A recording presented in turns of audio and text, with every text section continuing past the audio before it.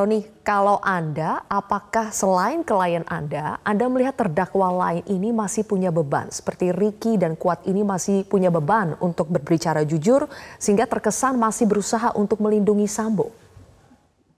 Iya Mbak Sylvia, ini indikasinya ada ke sana ya. Kalau kita lihat bahwa dalam proses penyidikan pendampingan saya, saya lihat indikasinya ada di sana. Tapi kami berharap bahwa dalam proses persidangannya nanti sudah didampingi oleh Bang Herman Umar senior saya, tentunya pastinya kan fakta-fakta akan terbuka ya.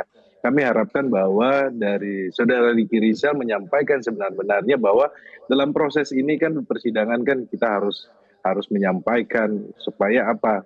Ini dalam memenuhi rasa keadilan kan dan tentunya juga nanti akan berpengaruh terhadap putusan dari majelis hakim.